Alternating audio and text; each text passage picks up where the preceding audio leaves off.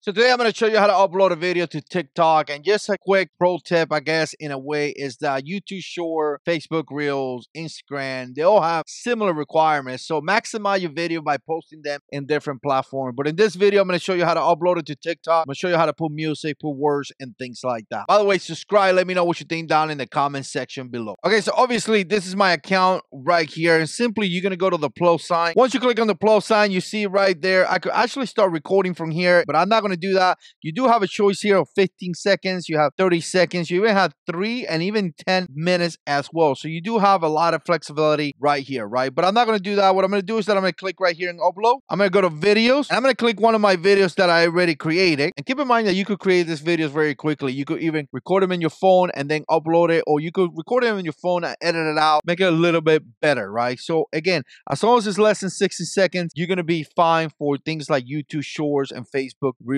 and things like that, right? So from here, what I'm going to do is that I'm going to start, you know, adjusting this. If I click right here, I already have music right there, right? So that's the music that I want. I'm going to press, obviously there, I deselected the music. I'm going to select it again and that's selected. You can see in the top side, the music kind of scrolling by, right? I'm going to go ahead and put some words as well. This video is about the Lord, so I'm going to put God is in control. You can change the color, of course. I'm going to put it here in red. I'm going to click done and then you could kind of grab it and then you could kind of do this right here, right? Make it a little bit bigger. Depends how you want to, right? We're going to go a little bit over this application right here just so you could see some of the stuff right here. But the first one right here, you kind of have a timeline and you could do some editing right there. Obviously, you could put some words and all that. You could click right here. Let's see this one. This one has some stickers, so let's just click this right here. And obviously, you could have some stickers right here. You can put it wherever you want, right? I'm going to put that right there, right? You do have a couple different things in here. Let's see what this does right here. All right, so that's kind of like a filter right there. So you can see that. That's definitely very, very cool.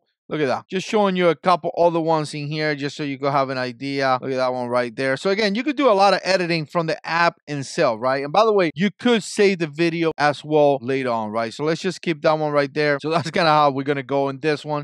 If you go to the next one, you kind of have some filters, I believe. All right, here's a filter. Let's put another one. Let's put another one. So, all right, so that's going to be the filter right there. You could also use this right here, which is essentially, you know, the words that you could see right here. So if I click here, you could kind of readjust that. You could see in case they didn't understand you the right way or anything like that, and you want to make some changes. But if not, you could just click save. And now, as you can see, it's showing you this. So again, lots of different changes that you could do here. Lots of different things that you could do. Very, very simple. You don't have to do anything crazy on the editing. It's going to be done right here in the app. Once you're good, you click next. And then the final thing right here, when you click next, is to come here, give it a title, and you could do a title right here. You could click in hashtag. Make sure you put some hashtag, and those some of the hashtags that I have utilized as ready, right? Let me put another one right here. And if you come a little bit below, you could actually tag somebody right there. That's something that you could do. You could also put some settings in here, you know, who can watch it, friends, everyone, only me. You could allow comment, allow duet, allow stitch, and that's people, you know, that want to do it, your videos and things like that, right? If you click on the picture right here, you could actually pick a different picture or a different frame to actually be the thumbnail kind of style, right? But then after that, guys, all you have to do is post and the video will post. And like I say, if you go here to my main page, you can see all the videos that I have posted. It's really not that difficult. Okay, I appreciate you guys watching. We'll see you in the next one.